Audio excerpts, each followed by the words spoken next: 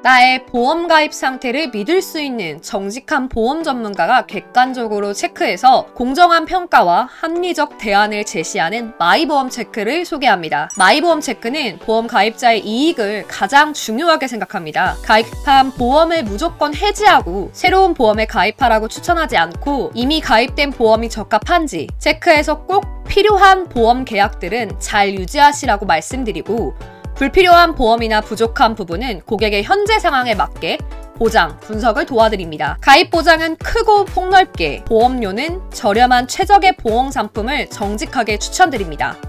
상담하실 때 안진걸 TV 보고 신청했다고 꼭 남겨주시기 부탁드립니다.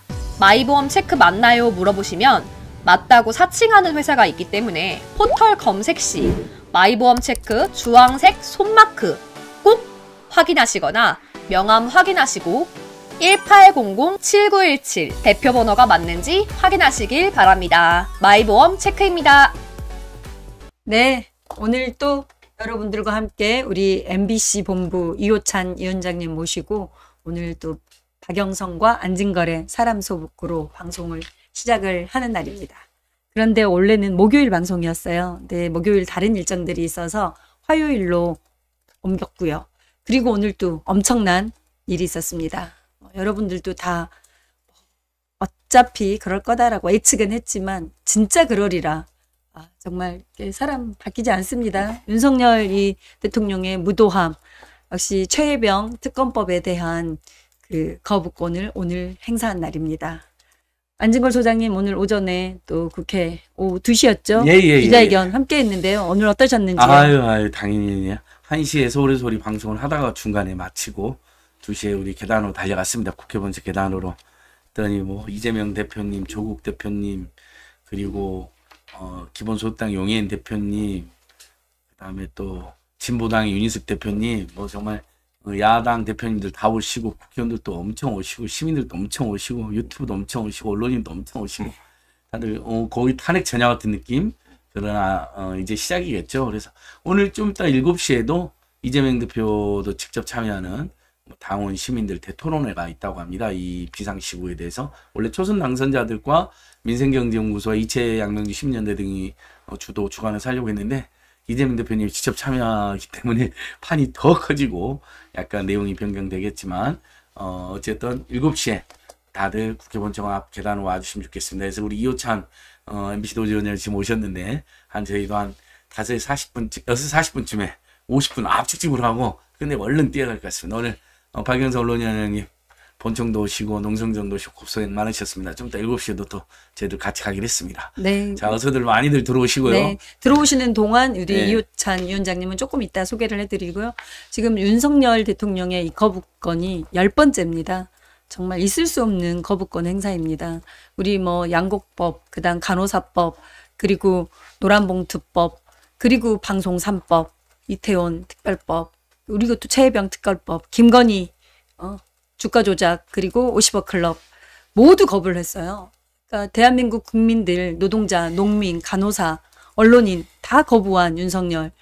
정말 이제는 아, 국가를 지키기 위해 수해 지역을 지원 갔던 우리 최수근 상병의 사망 사건, 진상 규명과 수사의 앞 진실을 규명하자라는 이 국민적 요구들이 이렇게 컸음에도 또 총선 결과 국민들이 제대로 진상 규명하라라고 명령을 했지만 국민의 명령 또 거부했습니다. 이런 대통령 우리 더 이상 참을 수가 없는 상황이에요. 보통 우리가 뭐 회초리를 들자 뭐 했는데 회초리 갖고는 택도 없고 이제는 어 뭐 3년이 길다라고 했는데 저는 단 하루도 이 윤석열 대통령 치하의 나라에서 살고 싶지가 않습니다. 전 국민이 제대로 거부하는 이 거대한 이 힘들을 보여줘야 될 것 같습니다. 우리 이렇게 바다에 배를 띄울 수 있지만 배를 뒤집어 엎을 수 있는 이 성난 파도를 우리 국민들이 만들어 주셔야 하는 시기가 이제 다가온 것 같습니다. 폭풍 전야 같은 날인 것 같아요. 우리 이호찬 위원장님 그 방송 3법 거부 때 또 언론계에서도 엄청난 저항이 있었는데요. 지금 상황이 녹록지 않습니다. 하루하루가 우리 민생 그리고 외교 그리고 대한민국의 미래가 침몰하고 있습니다. 이 침몰하는 시기에 또 언론인들 특히 MBC 노동조합에서 엄청나게 큰 역할들 해내고 계시는데요. 일단 우리 안 소장님, 위원장님 소개 전 MBC 하면 떠오르는 게 뭐가 있습니까? 지난 2년간. 아, 또, 어, 제가 지금 이렇게 공부 중인데 네. 뭐라고 하냐면 아 우리 제목이 재밌지 아 MBC 얼마나 더 당해하나 MBC마저 장악될 위기 국민들이 지켜내야 그게 뭐라고 했냐면 어 대발견성 TV, 인사이트 TV, 뉴스맥 TV 아니면 공동으로 우리 국민의 지지를 듬뿍 받고 있는 그래서 더더욱 탄압받고 있는 MBC 노조 이호찬 위원장이 진행했습니다. 이게 지난 2년간 사랑과 탄압을 동시에 받은 그러니까 이제 MBC 하면 네. 저는 그 가장 많은 사랑으로 말씀하셨고 탄압, 사랑과 탄압으로 이렇게 말씀을 주시는데 언론이 사랑을 받는 게 뭐겠어요? 제대로 된 역할을 했으니 제대로 국민들에게 알 권리를 보장해 줬으니 사랑을 받는 거고 그러니까 가장 많은 또 탄압의 중심에 서 있다라고 생각이 되고 저는 MBC 하면 지키기 MBC는 지켜야 한다라는 키워드로 바로 니꾸루가 저한테는 되거든요. MBC는 우리 국민들의 소중한 산소와 같은 이렇게 우리가 살아 생존하고 알아야 되고 또 알려야 되는 그런 원력 본연의 기능을 잘하고 있기 때문에 MBC는 지켜야 한다라는 지키기라는 이 프레임이 아니라 우리의 꼭 해야 될 나의 역할, 나의 의무 같은 생각이 들어요. 그래서 상당히 부담스러워. 네, 아, 이제는 부담되시겠네요. 이제는 이제 소개해야 될 때가. 왔습니다. 어, 좀 부담돼. 들어오셨는지 모르겠는데요. 아, 네네. 자, 드디어 소개하겠습니다. 우리 국민들의 사랑과 신뢰를 듬뿍 받고 있는 우리 MBC, 우리 국민들이 지켜줘야 할 MBC, MBC 언론인들과 언론 종사자들과 최전선에서 싸우고 있는 MBC 본부 이호찬 위원장님을 소개하겠습니다. 아유, 반갑습니다. 와. 이 오찬 우리나라 요찬 MC 노조 예, 요찬 기자님은 우리 MBC의 민한 기자님이셨죠. 그래서 아니, 여쭤 과거형 예, 기자 아니 지금 기자지만 지금 노조로 당선된 도구를 파견 나가 있으니까 네네. 현장에서 아주 많이 만났던 기자님인데 저 어렸을 날- 때부터 네. 참여연대 계실 때부터 아, 예. 만났는데 또 이렇게 소주도 한잔하고 예. 옆에서 방송할 날이 왔네요. 예, 나라살림연구소의 이상민 연구원하고도 아. 잘 친이고 이런 인생경정부소. 이재일 변호사하고도 잘 아, 친인 아니 그 두 분이 생각이 나요. 아, 네. 네. 제가 어렸을 때는 이상민 연구원하고 네, 둘이 네. 고등학교 동창 고등학교 동창. 네. 이야기하고 어느 날은 이재일 변호사가 어우 이호장 기자님 제가 자기 아낀 후배님이라고 막 그래 오늘 와라니까 안 오는 거 같아. 학교 선배님. 예. 그 우리 이호찬 위원장님 지금 MBC 현재 상황들 예. 지금 뭐 위원장님 되시고 그동안 어떤 활동들 주력하셨는지 편하게 하시고 싶은 말씀들 일단 예. 본인 소개와 함께 말씀 예. 열어주시기 바랍니다. 네. 너무 과분한 소개를 해주셔서 예, 부담스럽고 감사드리고 한데요. 저는 언론노조 MBC 본부 본부장 이호찬입니다. 네. 뭐 2003년부터 이제 기자로 입사를 해서 네, 기자 생활 쭉 했었고요. 네. 과거에도 그 박근혜 정권 당시에 이제 노조에서 뉴스 모니터링하는 이제 간사 상근 집행부 역할을 한 2년 동안 했었고요. 그 이후에는 뭐 2580 이나 뭐 하여튼 그 이후에는 뭐 사회부 또 일하기도 하고 이제 위원장 되기 직전에는 2년 반 동안 국민의힘 담당을 했었어요. 아. 음. 국회에서 이제 야. 여당 그때 야당 시절에 국민의힘 그다음에 여당으로 바뀐 시절에 국민의힘의 이제 반장 역할을 2년 반 동안 했거든요. 근데 되게 좀 안타까웠던 게 그 국민의힘이 정권을 잡기 위해서 했던 말들이 있거든요. 수많은 그게 결국은 다 이제 거짓말이었다는 게 너무 음. 빨리 드러난 거죠. 그러니까 자기들이 맨날 내로남불 뭐 비판하고 음. 마치 이제 국민의 힘에서 로고도 바꾸면서 국민의 편에 서겠다는 것처럼 많이 국민들한테 알려서 결국은 집권을 하게 된 건데 집권하자마자 그 대통령이 언론의 자유를 그렇게 말로는 자유 자유 자유 떠들면서 실상으로는 이명박근혜 정권보다 더한 언론 탄압을 좀 하고 있는 상황이어서 지난 제가 이- 작년 3월에 이제 위원장 시작 시작을 했는데 그 이후에 계속해서 MBC에 대한 탄압에 대한 방어, 어, 그 어떻게 하면 시민들한테 더 많이 알릴 것인가, 그리고 내부적으로 어떻게 하면 구성원들을 좀더 독려해서 좋은 프로그램, 좋은 보도 만들어낼 것인가, 내부적인 그런 고민들, 외부적으로 좀 시민들의 지지를 받을 수 있는 방안이 뭘까? 이런 것들을 계속 고민하고 뭐 기자회견하고 집회 참석하고 이러느라고 1년이 되게 1년 이제 2개월 정도 지났는데 하여튼 정신없이 좀 흘러간 것 같은데 아직 이제 시작도 안 했다. 그리고 아까 말씀하신 대로 MBC도 폭풍 전야다. 네. MBC가 8월이면 잘못하면 넘어갈 수 있다. 이걸 좀 아. 시민들한테 최대한 좀 알리고 이걸 막아내기 위해서 좀 함께 지지하고 연대해달라는 부탁의 말씀을 드리고 싶어서 오늘 네, 참석을 하게 됐습니다. 네. 많은 기자님들은 MBC 직원분 선생님들이 이호찬 연예인 일복 터졌다 하잖아요. 아, 네. 너무 많은 날마다 일이 터지네. 네. 날마다 탄압당하고 날마다 공격받고 네. 날마다 징계당하고 날마다 방문 이사장 막 교체 시도했는데 바로 잡고. 그 일이 끊이지 않는 것 같아요. 네. 뭐 그러니까 정권에 그- 감사를 해야 되나. 아, 특히 지금 윤석열 정부 들어서 네. 모든 기존 legacy 미디어들, 네. 기존 언론 매체들이 거의 모든 단독 특종 네. 보도 그리고 언론의 어쨌든 감시견으로서의 watchdog 도구로서의 본연의 기능을 이미 잃어버렸어요. 네.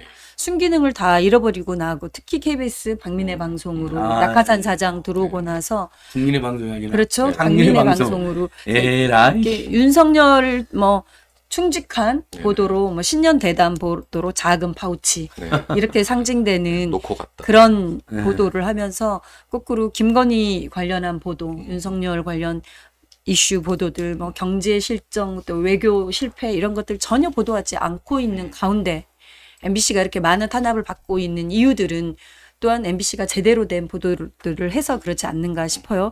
일단 위원장님 저는 궁금한 게 네. MBC가 그동안 이렇게 특정 보도들을 가장 많이 쏟아낼 수 있었던 그런 이유가 또 어떤 배경인 건지 그 근간이 좀 궁금해요.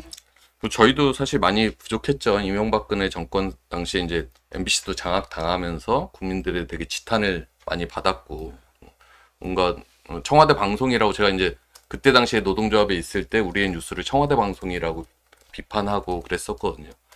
그 17년에 저희가 이제 파업을 통해서 사장을 교체하고 예. 그리고 이제 복귀를 해서 몇 년에 좀 어려움이 있었습니다. 그 지난 한 10년 넘게 현장에서 떠나 있다 보니까 각자 구성원들의 좀 실력도 좀 많이 떨어진 부분도 있고 내부에 좀 견해 차이도 있고 그래서 17년 12월 그때 복귀하고 나서 한 몇 년은 좀 힘든 과정이었는데 그래서 내부적으로 계속 고민하고 노력하고 하면서 어느 정도 이제 좋은 보도들이 많이 나오기 시작했고 외부에 이제 수상 이런 것도 되게 늘어나고 있었고. 그러면서 이제 어느 정도 좀 궤도에 올라온 것 같고 그런 보도를 하니까 또 국민들이 신뢰를 해주시고 신뢰를 해주시니까 MBC로 좋은 제보나 이런 것들이 많이 몰리기도 하고 그다음에 국민적인 신뢰를 받으니까 내부 구성원들도 좀 힘이 나서 정말 이제 현장에서 열심히 취재를 해서 어떻게든 좋은 보도 해야겠다 이런 것들이 생기거든요. 그래서 지금 약간 좀 선순환 구조가 된 것 같아요. 근데 물론 저희가 자만하지 않고 내부적으로도 계속해서 노력하고 해야 될 부분들이 있고 예를 들면은 뭐 얼마 전에 그 아크로비스타에서 그 윤석열 대통령과 김건희 여사가 그 최재형 목사한테 받은 책. 받은 저, 책 네, 그거를 이제 아마 이사하면서 와. 재활용 거기 버리고 갔나 봐요. 어떻게 어떻게 전직 그- 대통령이 사인까지 해서 그러니까요. 준 책? 그 직인까지 찍어서 준 책을 와. 버리고 갔나 봐요. 그것도 좀 안타깝지만 너무 하여튼 그분이. 그거를 모든 언론사에 거의 대부분 제보를 했다고 하거든요. 아, 네, 네. 근데 이거에 관심을 갖고 연락이 온 데는 거의 없었던 거예요. 거기에 와. 뭔가 제보의 의미를 조금 음, 두면서. MBC가 좀 취재를 하고 하니까 MBC한테 이제 마음을 좀 열고 인터뷰도 해주시고 음. 해서 이제 실제 최재형 목사가 제, 그 전달했던 책을 저희가 확보해서 보도를 할 수 있었던 거거든요.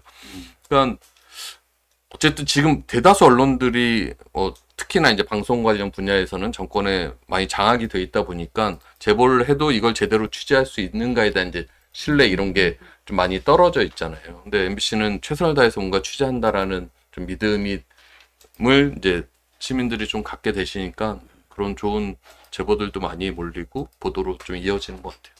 맞습니다. MBC가 지금 윤석열 정부 들어와서 최초의 단독 보도했던 게 지금 우리가 바이든 날리면으로 네, 알고 있는데 네. 그전 보도가 또 있었지요. 또 이제 민간인을 전용기에 탑승한 예, 음. 보도 그게 아마 이 정권이 좀 불편했던 물론 음. 대선 기간에서도 뭐 여러 가지가 있었겠지만 그 전에도 이제 MBC를 어떻게 하겠다라고 마음 먹고 집권을 했을 거고 근데 이제 집권 이후에도 예, 전용기 탑승을 민간인을 시킨 그 보도가 이제 한 시발점이 좀 된 것 같고 이후에 뭐 다 아시는 것처럼 이제 바이든 날리면 보도 그런 게 가장 좀 아팠을 것이고 그다음에 최근에 뭐 대선 과정 아, 최근에 그 총선 과정에서도 이종섭 국방부 장관 출국 금지 네. 관련 보도 그다음에 뭐 그렇죠. 대통령실과 이제 그 국방부 비서관 관리관 사이에 뭐 통화한 내용 뭐 이런 유재현- 것들은 이제 예? 예, 그러니까 단독 그- 보도 그것은 또 이시온이고 그렇죠. 네네. 아까 민간인은 이원모 이원모 부인이고 네, 네. 다 정치검찰 녀석들. 텅디님 제가 PPT 준비한 네. 것 중에 네. 두 번째 페이지 부탁드려볼까요?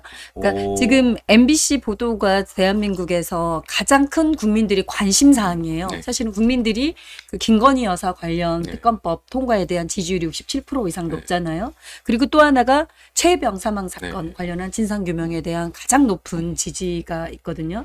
그러니까 진상 규명 제대로 하고 수사 외압에 대해 진실을 밝히자라는 여론이 가장 높은데 MBC가 관련한 단독 보도들을 지속적으로 꾸준히 예, 예. 두 달, 세 달 넘게 지난해부터 계속 해오고 있거든요. 그러니까 저희 법조팀이 네. 그 최혜병 사건은 계속해서 팔로우를 하면서 네. 정말 전국 곳곳을 돌면서 사건 관련자들을 음. 만나고 또 만나고 이게 아. 뭐 단독 보도라는 게 누가 한 번에 뭐 이 정권에서 무슨 공수처와의 무슨 결탁 이런 식으로 어. 말도 안 되는 프레임을 씌우던데 그렇게 해서 이루어지는 것들이 아니라 그 사건 관련자들 하나하나 다 만나가고 뻗치기 하고 만나서 이 사람한테 한 가지 묻고 저 사람한테 한 가지 묻고 이런 걸 모아 모아서 이제 단독 보도들이 이어지고 있거든요. 그래서 그건 정말 우리 법조팀이 되게 훌륭하다라는 생각도 들고 하여튼 음. 지치지 않고 계속해서 팔로우를 하니까 그 관련 단독 보도들을 계속 좀 이어가고 있는 것 같아요. 그러니까 이제 MBC에서 가장 먼저 이 최혜병 사망 사건에 대한 진실 규명을 가장 많은 보도들을 네. 이어서 계속 해 가고 있고 이렇게 끌어가다 보니 국민적으로도 제일 궁금해하고 네. 그리고 국민적으로도 관심도 높고 네. 이러니 JTBC도 후속 보도들을 좀 그렇죠. 이어져서 예, 하고 예. 있고 SBS도 단독 보도들을 좀 따라서 하기 시작한 게 네. 최근에 지금 바뀌어가는 네. 언론 지형인 것 네. 같아요. 그리고 또 보면은 그 김건희 명품백 네. 수수 영상과 그 이후로의 후속. 그러니까 김건희 소환 방침에 대한 것도 단독 보도로 네. MBC가 가장 먼저 네. 하고 그리고 이원석 검찰총장이 신속하게 수사해라. 네네. 근데 이런 신속하게 수사해라라는 지시 같은 경우 사실은 단독의 의미보다는 네네. 다른 언론들도 다 쓸 수 있는데 네네. 안 쓰는 거를 유일하게 써주고 있는 거. 그런 의미가 좀 있는 것 같아요. 그리고 그러니까 아까 그냥 책도 발언 그렇고요. 뭐 신속 수사하겠다 뭐 네. 이게 그냥 당연한 얘기지라고 넘어갈 네, 수도 네, 있지만 그 맥락이 어떤 건지에 대해서 좀 더 들여다보고 취재하고 이런 보도들 좀 하고 있는 것 같고 이종섭 장관 이종섭 장관 같은 경우에도 실제 호주 대사를 임명해서 출국한다는 건 모든 기자들이 알고 현장에서 다 뻗치기 하고 있었던 거잖아요. 좀만 이제 정성을 들이면 안에 같이 비행기를 타고 갈 수도 있는 거고 호주 현지에 갈 수도 있잖아요. 다 누구나. 그렇죠. 네. 그런데 네. 이제 아무도 가지 않았다는 거잖아요. 그러니까 거기서 MBC는 이제 이종섭 장관은 왜 이렇게까지 하냐 뭐 이렇게 공항에서 얘기를 하던데 이렇게까지 하는 언론이 MBC밖에 없었다는 게 또 좀 안타까운 현실이기도 하고 그래서 어쨌든 MBC가 그렇게 좀 적극적으로 취재한 것들이 국민적인 지지나 관심을 받으니까 이제 다른 언론사들도 서로 이제 경쟁을 하게 되고 그러니까 좋은 역할을 좀 하게 되는 거죠. 그러니까 음. 이런 선의의 뭔가 정권 감시, 권력 감시 역할을 갖고 언론이 경쟁하는 게 사실 맞는데 그렇죠. 예. 저희랑 관련된 우리 MBC 특종도 있습니다. 뭐 특종까지는 아니고 단독인데 뭐냐면 제가 이제 김건희 대선 전에 네. 학력 조작, 경력적 논문 조작 고발했는데 경찰이 수사를 안 해주고 있었잖아요. 예. 근데 서면 조사 방침을 밝힌 거예요. 음, 근데 경찰이 서면을 보냈는데 50일 넘도록 답을 안 하고 있다가 MBC 아, 단독 보도 나간 예. 거예요. 저한테 엄청 힘들죠. 저는 예. 제가 고발이니까. 예. 야 세상 남들 다 하는 소환도 안 하고 서면 조사조차 그만. 그러니까 그때쯤에 아마 예. MBC 보도가 나간 다음에 한 10일 정도 지나서 예. 검찰총장이 네. 수사 서면에. 답은 했다. 예. 답은 했다는 거예요. 예. 그리고 무혐의가 온 거예요. 예. 어쨌든. 음. 그래서 제가 이 신청해서 지금 검찰청에 가 있습니다. 검찰은 지금 이제 MBC 또 단돌해야지. 그럼 이 신청한 지 지금 이 잠깐만 그게 대선 전후였거든요. 예. 그 서면 조사 예. 한게 대선 당선된 다음에 서면 조사한 것 같아요. 예. 그때. 예. 근데 지금 2년이 넘도록 예. 검찰 예. 캐비넷에 묻어놨다. 어, 묵혀두고 어, 있다. 어, 묵혀두고 있다. 이 단독- 시중에서 단독- 수사를 해야지. 예. 아무도 몰라요. 지금 거예요. 제보. MBC 이현창 너 기자님께. 제보를 너무 공개적으로 하시. 공개적으로. 제발 다른 기자분들 좀 쓰시라는 거죠. 아니, 이건 네. 뉴스가 되잖아요. 아니, 이 신청한 지 2년 동안 검찰이 그 간단한, 본인도 인정한 걸 기소도 소환도 안 하고 있다. 음. 이제 이런 거죠. 이런 맥락으로. 그리고 그또 저것도 대선 국면에서 되게 큰 역할을 했던 것 중에 하나가 황상무 그렇죠. 핵탈 테러 네. 발언이 아, 그렇죠. 우리 PPT 사- 다음 네. 화면으로 해주세요. 예. 그것도 사실 그 현장에 MBC만 있었던 것도 아니고 이제 방송사 몇 군데 네. 기자들이 함께 있었단 말이에요. 근데 이제 그런 발언들을 들었을 때 MBC는 내부 논의를 거쳐서 보통 이제 대통령실의 수석이 기자들이랑 밥 먹고 얘기하는 거는 관례적으로 뭐 오프 더 레코드를 좀 지키는 관행들이 있었어요. 근데 이것도 사실 정도껏인 거고 국민의 알 권리를 심각하게 침해하는 그걸 목격하고도 이게 모든 엠바고 뭐 오프 더 레코드 다 지켜야 된다 무슨 법칙이 있는 건 아니거든요. 내부의 관행을 깨는 게 이제 좀 어려운 그럼요. 건데 그거를 같은 자리에 있었고 그날 이게 MBC에 보도될 것이라는 것이 아마 그 참석했던 그렇죠. 기자들이나 다 이제 알려졌을 거란 말이에요. 그런데도 이제 그거를 보통은 같이 있었던 자리에서 누가 얘기한 걸로 타사가 혼자 보도한다고 하면 이걸 어떻게 하면 같이 보도할지 물 먹지 않으려고 물 먹지 않는 게 너무 예, 중요하거든요. 근데 이건 그냥 MBC가 보도하는 걸 기다리는 거고 그때도 MBC가 보도하고도 그 일부를 인용하는 MBC가 그 오프 더 레코드를 뭐 관행을 지키지 않아서 보도했다고 하면 MBC를 걸고라도 보도할 수 있는 거란 음. 말이에요. MBC가 이렇게 보도했다고. 네. 근데 그거마저도 네, 네. 초반에 일부를 인용해서 보도한 언론사들이 많지 않았다는 게좀 안타까운 예, 상황입니다. 참 안타까운 게 아니라 네. 언론들이 본인들이 해야 할 역할 자체를 맞습니다. 방기한 거죠. 그리고 비겁한 거죠. 네, 비겁한 우리 박연서 언론위원도 발표하기 네. 전에 우리가 또 인연이 있는 게 MBC가 바이든을 알리면 아니, 바이든을 바이든 보도했다고 국민의힘이 막 항의 방문 가고 네. 막 고발하고 난리 피는 거예요.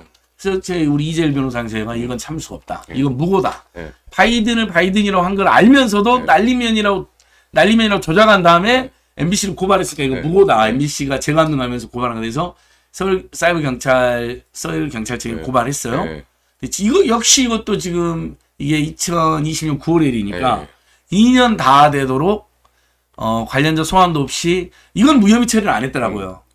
저희 하고 수사도 오히려 그냥 MBC 멈춰 있어요. 멈춰 있죠. 예, 멈춰 그러니까 있고 22년 9월에 벌어진 일을 경찰이 네. 아직도 그럼 무혐의를 처리하든지 아니면 문제 제기를 하든지 근데 그 결정을 못하고 계속 음. 그냥 묵히고 있는 거죠. 그러니까 아마 자기들은 1심 결과를 기다렸을 텐데 1심 결과가 너무 어이없게 나왔잖아요. 음, 그러니까 이 1심 결과를 갖고 처벌하기도 약간 부담스러워하는 것 맞아요, 맞아요. 2심 결과를 아마 또 저- 기다리고 있는 것 같은데 경찰마저도 1심 결과를 못 믿는 못 거예요. 믿는 거지. 그래서 미디어오늘 또 단독으로 쓰세요. 네. MBC가 고발된 사건도 2년 가까이 되도록 아무 처분이 없고, 그건 아마 경찰이 차마 유죄 취지로 송치를 못하니까 네. 그런 거고. 그렇다고 그럼 무죄로 할 무고다. 무고. MBC를 무고한 거 아니에요? 그러면 그놈들 처벌을 해야 되는데 왜 가만히 있냐는 거죠. 그러니까 지금 그러니까 MBC랑 제가 인생에는 많이 어, 엮여 있습니다. MBC 아, 관련한 보도 관련해서 이제 이제 뭐 고발건을 시민사회 몫으로 민생경제연구소에서 네. 열심히 하고 있는데 네. 최근에 또 저희가 황상무 네. MBC 잘 네. 들어 핵칼테러 관련한 그 고발을 했는데 우리 일단 영상을 황상무 핵칼테러 관련한 근데 MBC는 또 용감하게 단독 보도를 했습니다. 그 보도가 또 선거 때 엄청나게 큰 반향을 네. 일으켜서 결국 사태에 이르렀는데요. 영상 한번 보고 가시겠습니다. MBC는 잘 들어라고 말한 뒤 내가 정보사 나왔는데 1988년에 경제신문 기자가 압구정 현대아파트에서 허벅지에 칼 두 방이 찔렸다고 했습니다. 황 수석이 말한 사건은 1988년 8월 아침 경제신문 사회부장이었던 오홍근 기자가 자신의 집 앞에서 괴한들로부터 습격을 당한 일로 회칼을 사용한 공격에 오 기자는 허벅지가 깊이 4cm, 길이 30cm 이상 찢길 정도로 크게 다쳤습니다. 수사 결과 괴한들은 군 정보사령부 소속 현역 군인들로 군을 비판하는 오 기자의 칼럼에 불만을 품은 상관들의 명령을 받았던 것으로 드러났습니다. 이른바 정보사 회칼 테러 사건입니다. 황 수석은 이 사건을 말하며 당시 정부의 비판적인 논조로 기사 쓰고 했던 게 문제가 됐다는 취지라고 말했습니다. 그러니까 이 시국이 이 전국이 네. 왜 중요한 시기였냐면 MBC에서 그러니까 2월 말에 호주 네네. 대사가 그 공수처의 수사 중 네. 출국 금지가 돼 있다라는 보도를 MBC가 최초로 보도를 네네. 했어요. 그리고 나서 이제 호주 대사로 임명돼서 공항에서 네네. 단독 보도로 네. 그리고 호주까지 쫓아가서 함께 네. 취재했던 그걸로 3월 첫째 주가 그렇게 보도가 됐거든요. 네네. 3월 10일, 11일, 12일 네. 이어지던 상황이었는데 MBC에서 계속 단독 보도를 이어줬고 호주 교민들이 분노해서 촛불 시위도 하고 촛불. 집회하고 가라 수사받아라 이렇게 했던 시국이었는데 이때 지금 황상무 수석이 시민사회 수석이 MBC 잘 들어 네. 이렇게 회칼테러 발언을 한 걸 보도를 했을 때 정말 이제 이게 뭐 영향을 미치려고 한 건 아니겠지만 총선 국면에 어마어마하게 큰 국민의 분노를 일으켰어요. 자기들이 뭐 잘못한 거니까. 네. 본인들이 저희는. 명백히 예, 잘못한 거였고 예. 그래서 초기 대통령실에서는 큰 문제 없는 것처럼 네. 그뭐 MBC를 장악하려고도 하지 네. 않고 장악할 의도도 없다라는 보도를 대통령실에서 네. 냈다가 6일 만에 황상무 수석이 자진 사퇴를 했거든요. 그 이후에 또 다시 이제 대파 논란이 있긴 했는데 이때 관련한 회칼 테러 네. 음. 이슈가 있을 때 영상 기자협회, 기자협회, 네. 그 뭐 보수 진보 상관없이 언론인 전원 단체들이 규탄 네네. 성명을 예, 냈어요. 그리고 언론 보도들이 총선 때 방향이 약간 물꼬가 좀 바뀌었어요. 그래서 그 해도 대통령실 해도 너무한다라는 아, 너무한다. 게 이제 언론들의 네. 네. 그리고 사설에서도 이, 보- 이 발언에 네. 대해서는 명백히 문제가 있다. 보수 언론도 네, 비판했었죠. 보수 언론에서도 비판을 하면서 언론이 이제 민주당에 대한 공천 음. 문제 이슈 프레임이. 이때부터 좀 전환이 음. 완전 끝났고 그리고 어, 이 정부 너무 무도하다. 너무 이렇게 그뭐 독재 정권에서 가질 수 네. 있었던 이 과거 사건들을 대놓고 버젓이 말했던 네. 이거에 대해 좀 고- 국민들의 분노가 커졌고 네. 이거로 언론 보도의 흐름도 달라졌다라고 보여졌어요. 그러니까 좀- 정말 이게 어느 시대인가 네. 2024년이 맞나? 막 이런 생각이 들고 이 대통령실의 비서관이나 이런 사람들이 국민들을 도대체 뭘로 그렇죠. 보는 건가? 또 기자들을 도대체 뭘로 보는 게뭐 MC 기자 다- 혼자 있었던 거 아니고 여러 방송사 기자들 그러니까요. 있는 현장에서 이렇게 공공연하게 얘기할 수 있나? 그걸 뭐 나중에 농담이라고 하, 하면 그게 끝인가? 그리고 농담이라고 하면서 또 내부에 정보 보고 하지 말라고 또 얘기했었단 말이에요. 네. 그러니까 아 이 정권의 참 인식이 근데 이제 이걸 발언한 사람이 사실은 언론인이 그러니까요. 아니었다면은 모르겠는데 충격적이죠. 더 충격적 기자 누구보다 출신이잖아요. 언론인들이 이런 네. 발언을 어떻게 받아들이게 될까 잘 아는 예. KBS 메인 네. 앵커 출신이 이런 얘기를 했다는 게 더 심각했죠. 권력에 치여 있는 거죠. 그러니까 네. 비교해보면 예전에 경향신문이 단독으로 썼던 그 당시 박근혜 정권 때 국장, 교육국장이 네. 술 먹다가 개돼지. 민중은 개돼지라고 네. 계속 그러니까 그 완전 그건 진짜 편한 자리고 다른 언론사도 없었어요. 네. 근데 경향신문 기자가 계속 부르시면 씁니다. 그러니까 네. 쓸데없는 써갖고 진짜 써버렸는데 사실 그건 저는 오히려 뉴스 가치가 매우 높지는 않았다고 네. 봤어요. 네. 아유 사실 안 써도 되는 네. 거고 사석에서 네. 둘이 막 이제 기자 몇명 네. 술 먹다가 막 네. 실현한 건데 그래도 국장이나 되는 사람이 네. 그걸 남발하니까 마침 그때 내부자들 영화도 네. 유행하고 그래서 네. 아 고위 관료 인식이 이 정도라면 네. 써야겠다고 경향신문이 판단했다는 네. 거잖아요. 근데 그거에 비하면 이건 엄청난 뉴스 가치가 네. 되는 거죠. 뭐 일개 국장이 아니라 장관보다 훨씬 세가 센 세다는 수석이 네. 사실 국무총리보다 국무총리는 지금 현 정권에서 신문총리니까 네. 더 힘이 세겠죠 황상무가 음. 그런 사람이 그렇게 강도 높은 발언을 따라 했다는 것은 뭐 표현도 세잖아요. 수도 세고. 그 MBC 기자들이. 그게 한 건이 아니라 사실 이 정권 이후에 그렇죠. 뭔가 정권 네. 비판적인 보도를 할 때마다 외부에서 그런 협박들을 되게 많이 받아왔어요. 아니 예. 뭐 비행기에서 내려 예, 아직 그. 해버리고. 대놓고 그거는 네? 이제 대통령실이 협박을 한 거고 그렇죠. 실제 내리게 했죠. 그리고 우리 이- 우리 이기주 이기주 기자. doorstepping 할 때 대통령한테 뭐가 악의적 악의적이에요? 이 질문 했다가 했다고. 그리고 슬리퍼 신었다고 그 보수 이런 약간 일베 사이트 같은 데서 살해 협박까지 실제 네. 올라와서 마포 경찰서에서 전화 와갖고 이제 신변 보호 네, 받고 네. 막 이런 상황이었고 바이든 날리면 보도할 때 그 난뉴스에 이걸 보도했던 기자는 러시아에 있는 동생의 신상까지 털려갖고 온갖 인터넷으로 공갈 협박을 많이 당했었단 그렇죠. 말이에요. 그래서 사실 병원 치료까지 예. 받고 막 이랬던 상황인데 그런 게 사실 보도나 이런 거 통해서 알려져 있어요. 그래서 대통령실 수석이면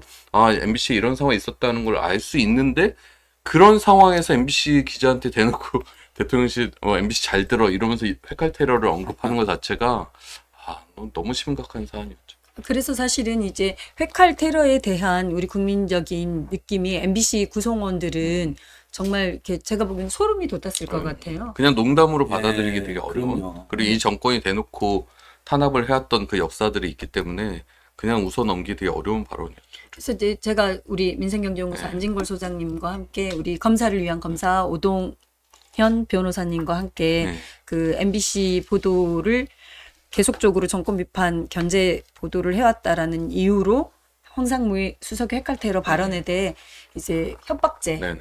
MBC 구성원들이 실제로 느껴지는 협박성 네네. 발언이었다라고 네. 협박죄하고 그다음 방송법 예. 방송 자유와 편성의 자유 네. 침해로 방송법 위반 그리고 이제 오은근 그 유족들 같은 네. 경우는 치를 떨며 잠을 그쵸. 잘 수가 없을 네. 때 부들부들 네. 떠셨대요. 음. 그래서 그거에 대한 사자 명예훼손 네. 그리고 또 하나 있습니다. 5.18 지금 최근 네. 이렇게 그 지났는데 5.18 항쟁에 대해 뭐 일반 시민들은 그럴 수 없었다. 밤에 몇 번 모이고 터지고 하고 어, 총기를 그렇게 쓸 수가 없었다라는 제3자 개입설을 발언한 네개 범죄 혐의에 대해 황상무 수석을 고발을 했고 지지난주에 제가 이제 고발인 조사 예, 받았고 예. 오늘 방배 경찰서로 네. 이첩됐다라는 아, 예. 연락을 받았습니다. 이것도 뉴스입니다. 네네. 예, 뉴스여서 그냥 그때 음. 어쨌든 5.18 네. 그 발언도 되게 심각한 발언인데 대통령실이 이것에 대해서 뭐 가타부터 언급 안 언급을 하지. 않았죠. 네. 그러니까 그렇게 5.18에 대해서 아직도 대통령실의 수석이라는 사람 입에서 사실상 북한군 개입설을 언급을 한 거거든요. 개입의 정황이 있는데 증거가 없으면 얘기하면 안 됐지 이런 식의 발언이었단 말이에요. 이렇게 말을 하, 하면서 그런 것에 대해서는 대통령실에서 사과나 정정 이런 것도 없는 상태에서 5.18 정신을 헌법 전문에 신임 아니 이런 얘기를 하는 것 자체가 정말 그냥 쇼잉으로 그렇죠. 보이는 거죠. 그러니까 정말 하는 말과 실제적 행동은 다 다른 거죠. 네. 그러니까 실질적으로 MBC 기자 잘 들어가면 협박하고 네. 그리고 방송의 자유에 대해서 이렇게 협박 테러 발언을 하면은 그러니까 위축 효과를 누리는 거잖아요. 나머지 기자들은 또 스스로 검열 하게 만들면서 그러니까 그때 대통령실이 알려드립니다 해서 문자 보낸 게 아까 말씀하셨던 대로 이 정부는 뭐 과거 정권과 같이 정보기관을 동원해서 뭐 사찰하거나 국세청 동원해서 뭐 세무사찰 벌인 적도 없고 그럴 의사나 시스템도 없다. MBC 국세청에서 세무조사 해갖고. 몇백억 추징을 알죠. 받았어요. 그리고 그리고 방심이 방통위 통해서 아, 그래, 온갖 괴롭히면서 검찰, 경찰. 감사원, 뭐 권익위, 방통위, 방심위 온갖 기관 다 동원해서 뭐, 탄압을 예. 해놓고 구구단체 와서 맨날 행패 그러니까요. 부리고 고발하고 그 바이든 그거 네. 과징금은 확정됐나요?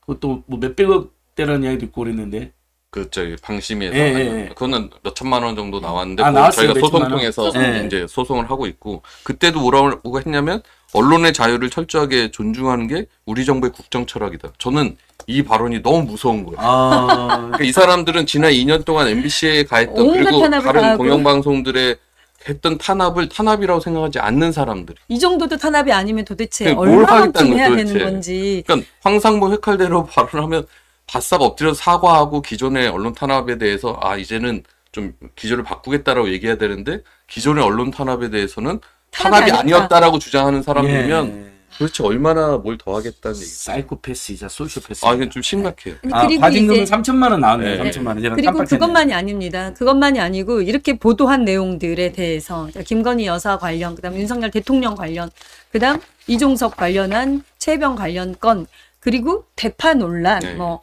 기상 보도, 네. 기후 미세먼지는 아이씨. 미세먼지는 진짜 1, 이거 1, 진짜. 1이든 2, 2였어도 파란색이에요. MBC, 기후 이번에 MBC 해도 이도 두시 뉴스는 파란색인데. 빨간색으로 돼 있던데요. 그 약간 네? 보라색이라고 또 자기들은 아니 왜 생각해. 국민의힘 지지 방송을 했어요? 아 니 선명한 2번이던데 왜 그랬어요 MBC? 또 예전 이자가 맨날 지금 그러니까 어디 기사마다 갔잖아요. 이번 방송에 저 방송이라고. 다른 그 언론화 사람 프로그램에서 늘 빨간색 입고 출연. 예, 그러니까 제가 만약에 잘하셨어요. 파란색 입고 출연했으면 큰일 되죠. 나요. 그러니까 그 모든 뭐 국세청 그리고 기자들의 탄압, 협박 발언 모든 규제 하면서 선거방송심의위원회까지 이번 선거방송심의위원회까지 아주 무자비한 징계를 남발을 했어요. 예. 선거방송심의위원회가 이번에 보통의 1년에 뭐 법정 제재 하나 나올까 말까 하는 네. 선방심이었거든요. 왜냐하면 선거 기간에 어떤 방송의 공정성에 대해서 판단한다는 것 자체가 되게 예민한 이슈잖아요. 그렇죠. 근데 이번에는 완전히 쏟아부었는데 30건의 법정 제재를 내렸는데 그 중에 MBC가 17건, 그 다음에 지역 MBC까지 치면 20건. 그래서 3분의 2가 MBC 관련 징계인 거예요. 네. 그 나머지도 네. 대부분 약간은 울산 뭐 MBC 성향. CBS, CBS 이런데. 뭐, 그 YTN, 네. 뭐, 뭐 평화방송 막 이런 그러니까 데들이 조금 중도 성향 예, 장악되지 장악이 완전히 덜 되는데. 된. 자, 우리 또 징계 현황에 대해서 뉴스를 아. 준비를 해봤습니다. 우리 텅디님, 우리 그 방심위의 민원 그리고 민원의 주체는 누구였는지 준비된 영상을 한번 또 보고 가시겠습니다. 준비 오늘 많이 차 됐습니다. 가격이 875원이면 합리적이라는 윤석열 대통령의 발언, 그리고 이 발언을 둘러싼 논란을 전했던 MBC의 보도에 대해서 방송통신심의위원회에 민원이 제기됐습니다. 해당 보도가 불공정하니까 심의해달라는 내용이었는데요. 아, 그런데 이 민원을 제기한 주체가 국민의힘인 것으로 확인됐습니다. 송재원 기자가 전하겠습니다. 지난달 20일 뉴스데스크는 한 대형마트를 방문한 윤석열 대통령의 발언을 전했습니다. 아, 저도 시장을 많이 봐봐서 875원이면 합리적인 가격이라고 생각이 듭니다. 이 발언을 두고 세상 물정 모른다는 비판과 대통령이 대파값까지 알아야 하냐는 반론이 엇갈렸다는 평가. 민생 물가를 점검해야 할 자리에서 대통령이 전국 최저가 행사장을 방문해 정부 행정 성과만 들은 게 아니냐는 비판도 나온다는 내용이었습니다. 닷새 뒤 이 보도를 심의해달라는 민원이 방송통신심의위원회에 접수됐습니다. 민원을 넣은 주체는 국민의힘, 선거방송심의특별규정 중 객관성, 사실보도를 위반했다는 이유였습니다. 하지만 같은 사안을 MBC보다 먼저 보도한 일간지나 인터넷 매체 등에 대해서는 심의 요청이 거의 없었습니다. 국민의힘은 류일인 방심위원장의 청부민원 의혹 수사는 지지부진하면서 제보자 색출 수사는 속도를 내고 있다는 보도, 미세먼지 농도를 설명하며 파란색 숫자 2를 크게 표시했다는 날씨 코너, 이종섭 당시 주 호주 대사의 임명 논란을 다룬 MBC 라디오 김종배의 시선 집중도 민원을 냈습니다. 예. 그 MBC가 보도했던 내용들 껌껌이 정부가 불편하거나 그리고 국민들이 그 가장 알고 싶고 궁금했던 뉴스들이거든요. 그 뉴스들에 대해서는 거의 매번 남발을 했어요. 네. 이렇게 많은 남발 징계는 처음이죠. 듣도 보도. 못했어요. 예, 예, 듣도 보도 예. 못했습니다. 예. 이렇게 많은 남발된 징계들을 쏟아내는 거는 결국은 MBC를 박문진 이사들을 교체하고 그리고 네네. MBC 사장을 날리고 네네. 이렇게 하고 싶었는데 네. 다른 기관들은 패턴이 거의 똑같아요. 그러니까 뭐 권익위, 그다음 네. 감사원에서 업무 추진비, 그다음 뭐 활동비, 뭐 내역들 다 뒷조사 시켜서 그리고 방통위에서 해임 하고 그리고 사장 개편하고 프로그램 개편하고 뭐 이렇게 순치하는 이런 통제하는 과정이었는데 MBC는 그게 실패가 됐거든요. 그렇죠. 예. 권태선 이사장, 박문진 이사장에 대한 그 네, 해임 네, 요구가 예, 나왔죠. 법원에서 네. 브레이크를 걸었어요. 그러다 보니 MBC는 또 내부 구성원들이 음. 단단하게 지켜서 제대로 된 보도를 하고 있으니 MBC에 대한 타격은 이제 유일하게 그들이 가질 수 있는 카드가 네. 방심위를 통한 제재, 그다음 선거 기간에 선거 방송 심의위원회를 통한 규제, 네네. 중징계를 계속 남발해 왔는데 아까 말씀하신 몇 건이나 지금 됐는지 주셨지만 그러니까 아까 말씀드린 예를 들어 18대 총선에서 법정 제재 두 건, 19대 총선에서는 없어요. 야. 21대 총선에서 두 건, 음. 22대 총선에서 30건. 와. 제일 많았던 게 20대 총선에서 14건인데 와. 그것도 이제 관계자 징계 비율로 보면은 20대 총선에서 관계자 징계 한 음. 건인데 이번 22대 총선에서 14건이. 그 중징계라면서요, 그렇죠? 관계자 징계가 선거방송 심의가 내릴 수 있는 최고 네. 수준의 징계인 징계예요. 거죠. 그러니까 그 징계를 계속 남발했는데 그 14건 중에 11건이 MBC예요. 관계자 징계. 그러니까 징계 양도 많고 징계 수위도 MBC만 관련이면 다 관계자 징계, 관계자 징계, 관계자 징계. 그럼 이런 것들이 모여서 연말 제어가에 영향을 미칠 수가 있는 거고 예. 그것보다도 더 앞서서는 올해 8월에 방송문화진흥회 이사의 임기들이 끝나는데 그럼 이제 여권 우위의 방문진을 만들어서 사장을 해임시킬 때 이런 선거방송심의나 방송통신심의위의 법정 제재 내역을 갖고 무기로 삼겠죠. 그러니까 문제는 선거방송심의위원회는 사실 선거 기간에만. 그 운영되는 임시 기구이거든요. 그런데 이들이 내리는 징계 대상이 선거의 공정성에 영향을 미쳤느냐, 후보자 간 균형을 제대로 보도했느냐, 특정 후보에게 편파적으로 했느냐, 이게 주로 방송 선거방송심의위원회 역할인데 이들은 사실은 선거 방송의 내용과 전혀 상관없는 이게 아까 PPT 화면 띄어 있는데 김건희 여사 주가 조작, 김건희 여사가 후보였는가?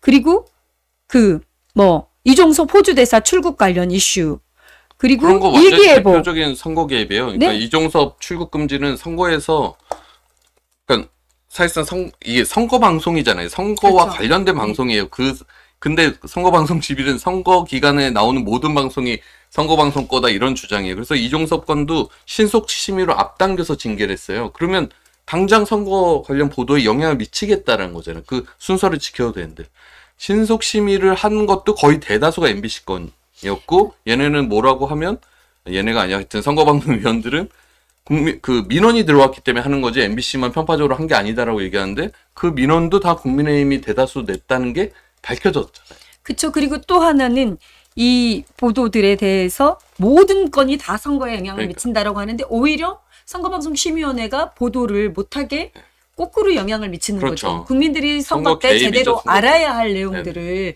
지금 감추고 그리고 덮으려고 한 그런 선거 방송 심의위원회고 완전 우리 빵꾸 똥꾸 있잖아요. 빵꾸 음. 똥꾸. 하이킥들 다내 거예요. PPT 앞 화면으로 가주시면 네. 선거 방송 심의위원회 위원들 자체가 그 이분들이 추천한 곳 그리고 심사를 한 곳이 같은 기관이에요. 공정언론 국민연대에서 민원을 제기하고 국민의힘에서 민원을 제기하고 그거를 당사자들이 받아서 중징계를 한다.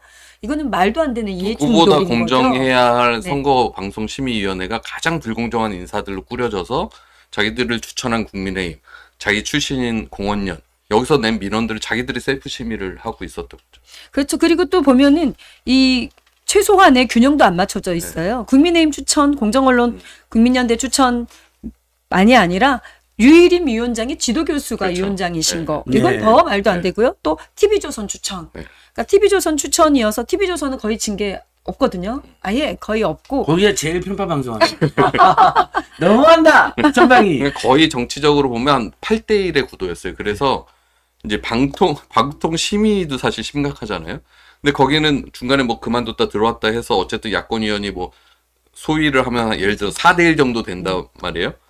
여긴 8대 1이에요. 그러니까 다 선거방송 심의 내 거다 가져가서 여기서 다 답정로로 거의 8대 2. 예, 그러니까 8대 1. 저는 이거는 정말 이거 장난하는 건가라는 게 김건희 여사 특검법이래요. 대한민국 법에 여사가 안 들어 있거든요. 음. 그러니까 여사라는 그러니까 용어도 없는데 김건희 특검법으로 써져 있는데 김, 김건희 배우자 김건희예요. 그러면 배우자 김건희 특검법이라는 용어를 쓰게 하든지 그것도 아니고 여사라는 용어를 여사 를 넣어야 된다는 거. 근데 중요한 건 우리 언론들이 너무 웃겨요. 그 다음에 그- 어쩌다. 그 발언이 있고 나서 전부 다 여사를 넣어요. 경향신문까지. 예, 예. 미쳤어요. 경향신문까지 김건희 여사 특검법이라고 법명조차도 없는 내용들을 수용하고 따라한다는 거 이거 자체가 그러니까. 정말 아니, 불종적인 언론의 모습을 야, 왜다 보였어요. 김영법이라 하냐? 언론인 여러분.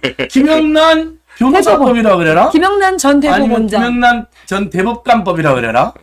완전 한다잖아. 네. 그동안 다 명칭하고 법 바로 썼잖아요. 우리가 그렇죠. 예를 들면 뭐 그러니까. 심지어 어린이와 관련된 법은 성도 안 붙이고 네. 누구 뭐죠? 네, 네. 뭐 예림 특검법, 예, 예림, 뭐 뭐, 누구법, 아니, 그러니까 네. 그 보통의 이제, 예. 예를 들면 뭐 뭐 피해자법이면 뭐 심지어는. 성도 안 붙여갖고 그렇죠. 네. 마치 하대하듯이 썼잖아요. 네, 네. 그것도 아무 문제 안 삼았으면서 그래서 저는 이 선거방송 심의위원회 이들의 그 무도한 그리고 본인들의 조직이 심의 요청을 하고 국민의힘이 심의 요청해서 중징계를 한 것들은 이거는 법률적으로나 행정적으로나 반드시 역사적으로도 바로잡아야 반드시. 바로잡아야 네. 된다고 네. 저는 보여지고 이거에 대한 분명한 네. 그 우리 국정조사를 네. 해서라도 꼭 심판을 해야 네. 되는 심판 받아야 될 대상자들이다라고 생각이 됩니다. 저희 입장에서는 이런 것들이 결과적으로 8월에 다 영향을 미치는 사안이어서, 그러니까 저는 저희 그 TV 봐주시는 시청자분들이 정말 유념해 주셨으면 좋겠는 거는 어쨌든 우리 MBC의 대주주인 방송문화진흥회 이사의 임기가 8월 12일이면 끝난단 말이에요. 그러면 이제 방통위에서 한 7월 이 들어서면 이제 새 공모. 이사진을 공모를 해서 선출을 한단 말이에요.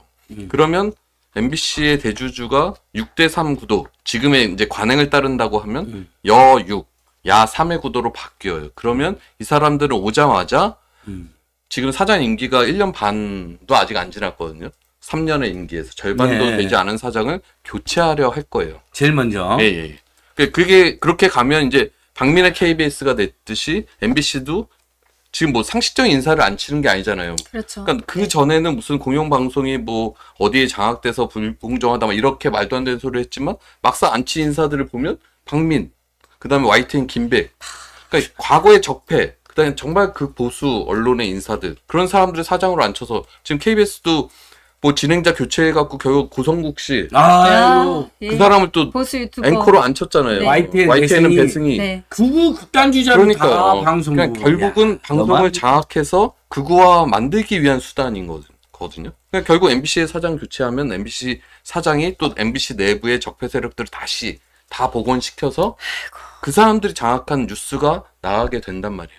그러니까 내부적으로 당연히 저항하고 싸우고 하겠지만 실제 우리 단체 협약에서 뭔가 이렇게 견제할 수 있는 수단들은 강제 수단들이 아니어서 그냥 무시하고 밀어붙이면 약간 무력화할 수 있는 거예요. 그러니까 상식적인 사람들은 이게 논의가 가능하죠. 근데 비상식적으로 MBC를 망치겠다고 들어오는 사람들은 다 약속을 지키지 않고 밀어붙이면 8월이면 MBC도 넘어갈 수 있다. 예. 그러면 도대체 우리나라 언론의 지형은 도대체 어떻게 되는 거고 그나마 지금 MBC가 남아 있어서 정권 비판이나 이런 보도들이 나가지만 8월이면 MBC도 넘어갈 수 있다. 그래서 저희는 그 22대 국회가 5월 말에 개원되면 바로 6월에 원구성 빨리 마치고 음. 원구성 갖고 시간 너무 끌지 않고 바로 방송3법 당, 작년에 대통령이 거부했던 방송3법을 재입법할 수 있는 그게 상당히 중요하다. 그래서 서두르지 않으면 시간이 없고 MBC마저 8월이면 넘어간다라는 것들을 좀 국민분들이 좀 알아주셨으면 좋겠고 그래서 방송3법이 그 어느 법보다도 왜냐하면 스케줄이 있기 때문에 그 이후에 바뀌는 거는 현실적으로 한 번 장악되면 이걸 다시 되, 되돌이키기 쉽지 않거든요. 음.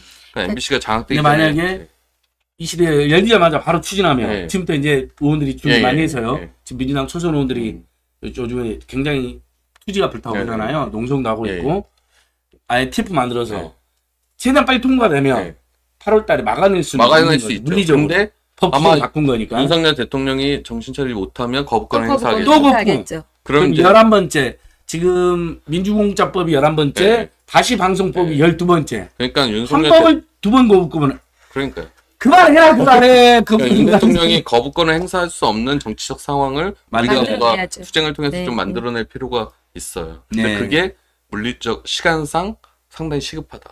그러니까 저도 사실은 22대 국회에 네. 그 가장 먼저 해야 될 게 MBC에 네. 대한 방송의 독립성 그리고 공정성을 지켜주기 위해서는 음. 그리고 그동안 그나마 최소한의 알 권리를 보장하기 위해 노력했던 이 구성원들의 절절한 노력들 그리고 기자 정신을 지켜왔던 네. 대한민국 모든 언론 지수가 사실은 국경 없는 기자에서 발표했던 62위로 추락을 얼마나 했는데. 매일매일 추락하고 있는 곳인데 그나마 국민들이 그래도 알 수 있게 해왔던 MBC의 그간의 역할과 노력들 그리고 이후로 MBC마저 그런 보도를 하지 않았을 네네. 때 정말 암담하거든요. 암담하고 깜깜해요. 네. 그러니까 김건희 관련한 이슈들 이후로 누구도 보도 안 해. 네. 뭐 공수처가 있든 특검이 있든 뭐 특검이 왜 필요한지 그리고 최상병 관련한 내용들 진상 규명들 여기만큼 이렇게 해왔는데 네. 이후로 전부 다 이렇게 물타기 그다음 다른 이슈들 갔다 와서 뭐 이렇게 혼선을 주고 또 알 권리를 갖고 거꾸로 우리 언론 보도들 봤잖아요 그러니까요. KBS에서 엉뚱한 프레임 만들어서 또 공격하는 형태로 바뀌어 네. 바뀌게 된다면은 네. 우리가 정말 제대로 알 권리가 다 없어지게 네. 되는 거예요. 그래서 MBC는 우리 언론 이렇게 공정성, 독립성을 지켜줄 수 있는 마지막 최후의 보도 보루다. 최후의 보루를 지키기 위해서는 22대 국회 1호법으로 방송법 반드시 통과시켜야 됩니다. 그러니까 이게 방송사법에서 이사회 기능을 지금 정치권이 그냥 나눠먹는 맞습니다. 구조인데 다양한 뭐 직능단체나 뭐 네. 학회나 시청자위원회나 좀 다양하게 해서 정치권의 영향력을 줄이자는 거거든요. 이것도 있지만 더 또 중요한 것 중에 하나는 사장을 뽑을 때 이제 성 연령 뭐 지역 음. 뭐 이 통계 따라서 한 100명의 국민 추천 위원회를 만들어서 이 국민 추천 위원회가 사장을 3배수를 이하로 추천하면 그걸 이사회에서 또 특별 다수제로 결정하는 거거든요. 예. 그러니까 어느 특정 세력이 그렇죠. 사장을 내려 꽂을 수가 없는 거예요. 그러니까 그러니까, 일단 국민추천위원회 만- 3배수 안에 들어야 예. 되는 그러니까 거고. 아주 쉽게 말해서 여당이 여섯 명이고 네. 야당 추천목이 세 명에 대해서 불리하다 하더라도 특별 다수에는 예를 들면 일곱 명 이상이 그렇죠. 동의해야만이 예. 사장 임명되면 어쨌든 여당 입장에서도 야, 야당도 동의하는 인사를 낼 수밖에 없는 중립적 인사. 거기에 이- 이게 특별 다수 예. 쉽게 하면 예, 되는 거죠. 그렇죠. 네. 거기에 국민 추천위까지 있기 때문에 예. 누군가 그냥 대통령이 찍든 뭐 민주당이 찍든 뭐 누군가 뭐 언론 노조가 누굴 찍어서 음. 사장을 시킬 수 있는 구조 자체가 아니라는 거예요. 아 좋습니다. 예. 그러니까 그런 바뀐 방송법으로 MBC 박문진 이사회가 구성이 돼야만. 그렇죠. 그리고 나야 MBC에 대한 네네. 그 어, 사장과 사장 선출에 네. 대해서 좀 이렇게 보장될 수 네. 있는 건데 이게 지금 구도로 그렇게 법이 통과되지 않고 네. 현행 방송법으로 그대로 갔을 때는 여당이 유기되는 거예요. 근데 여당을 여섯 명만 구성하라는 법이 없고 자기들이 네. 아홉 명명 다. 하겠다라고 할 수도 있어요. 워낙 아, 무도한 세력들이기 때문에. 다수를 우리 지금 무력화시켜서 방통위 봤잖아요. 방통위가 명, 5인, 아직도 두 명이야. 5인 아직도 구조인데도 아직도 두 명이야. 2인으로만 네. 운영을 하고 있잖아요. 그러면 예. 방문진도 현행 법이면 자기들 멋대로 할 수 있다는 거예요. 그래서 예, 반드시 방송법을 무서운- 통과시켜서 네. 정말 예. 무서운 집단들이. 국민들 누구도 특정 정파, 특정 정당이 추천하는 사람이 되지 않는 구조를 네네. 만들어 가는 거고 지금의 이제 이 발의된 그 거부된 전 방송법에 대해 일부 교수님들이 네. 뭐가 좀 미진함이 있다라는 네. 발언이 있을 수는 있어요. 네. 하지만 저는 지금 발등에 떨어진 불 그리고 이 법이 시민사회와 야당이 오랜 세월 논의해온 그나마 합리적 아니에요. 그러니 국회에서 사실은 통과가 된 거잖아요. 통과된 법이기 때문에 이에 대해서는 좀 저는 존중해서 이번 방문진 구성까지라도 이 법으로 하고 그리고 미진한 점이 있으면 이제 22대 뭐 정기국회 때 또 한 번 더 좀 개정을 하는 방법을 좀 갔으면 좋겠다 국민의힘이 싶어요. 시간 끌기거든요. 결국 작년에도 방송법 계속 얘기했을 때 네.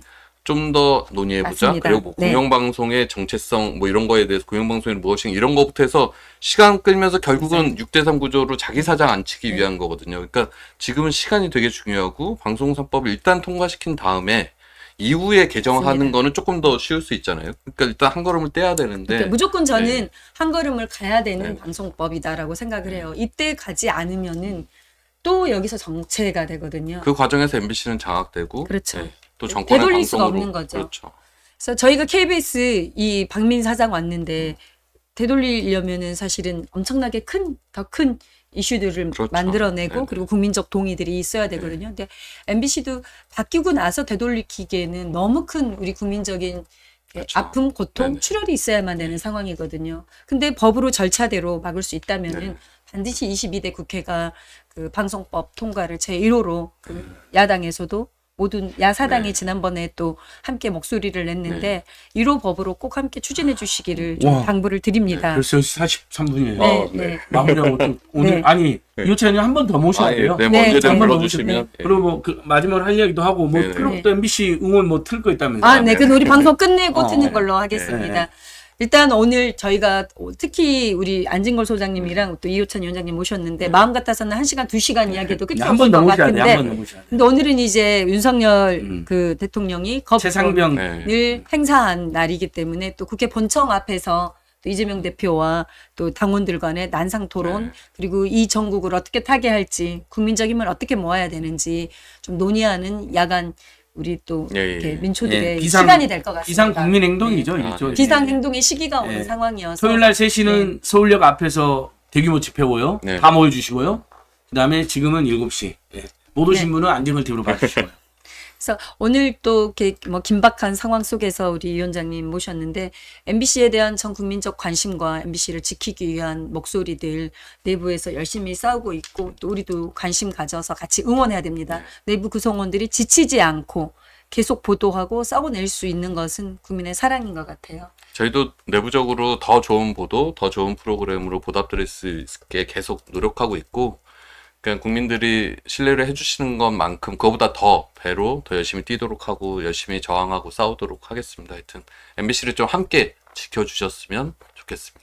우리 당당하고 씩씩하게 잘 싸우고 있는 MBC 구성원들 힘내라 응원해 주시고 그리고 다시 다른 기회에 또 만들어서 네. 방송법 22대 1호 법으로 통과시키기 위해 우리 민생경제연구소와 또 안진골 소장님 그리고 박영, 네. 대박영선 또 우리 함께 하시는 모든 분들 응원해 주시리라 믿습니다.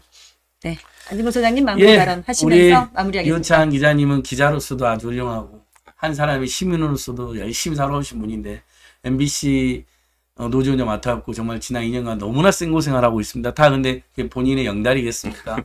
사랑하는 공영방송 MBC를 지키고 또 더 나아가 우리 국민들을 위한 언론의 자유, 편의 자유, 또 국민들 알 권리, 또 진실을 이해하고 오치도구로서 권력을 이 무도한 권력을 감시하는데 최선을 다해서 벌어진 일이잖아요. 그런 이런 분들 우리가 안 지켜드리면 어떻게 되겠습니까? MBC 지키기 위한 본 국민 행동을 제안드립니다. 예, 일단 MBC라도 지켜야 됩니다. 뭐 모든 방송사 독립 중요한데 뭐 KBS, YTN도 막 장악도 망가지고 있는데 일단 거기는 거기도 대응을 하고요. 일단 우리 MBC 예전에 실제로 우리 MBC 지키기. 저도 공동 행동이. 있었습니다. 네. 마봉춘 이렇게 네. 그 캠페인도 하고 어, 여러 번 저 우리 상암동도 가고 그랬었는데 어, 특 MBC를 주제로 한 단독 국민행동을 만들어야 될 것 같아요. 연대체를 시민들과 단체들이 함께하는 제 민생경연구소가 우리 박영선 언론위원장이 계시니까 앞장서 한번 해보겠습니다. 일단은 뭐 언론장악 저지 공동인력이라든 예, 알죠. 연대체도 있으니까 있습니다. 예, 함께 좀 공익방송 지키는데 나서 주시되 MBC 사안이 정말 시급하다라는 거를 좀 알아주셨으면 좋겠습니다. 네, 오늘 어쨌든 함께 해주셔서 감사하고요. 오늘 시청해주신 모든 분들 MBC 응원합니다. 화이팅 해주시고, 그리고 우리 또 최혜병 특검법, 그리고 제부위 다음 네네. 본회의 네. 통과될 수 있도록 MBC에서도 힘내서 보도, 네. 감시, 비판 해주시기 바라고, 국민의힘 의원들 또한 21대 마지막 국회에서 국민들의 진상규명을 위한 목소리들 국민의힘에서도 똑바로, 똑바로 듣고 국민들은 거부권을 행사하는 대통령을 거부하고 있습니다.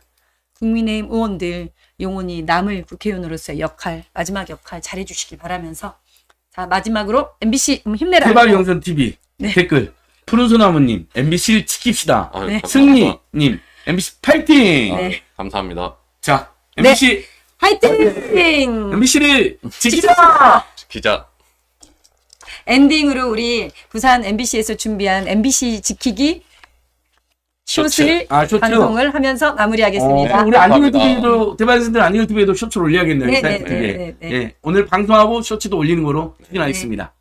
고맙습니다. 네, 감사합니다. 감사합니다.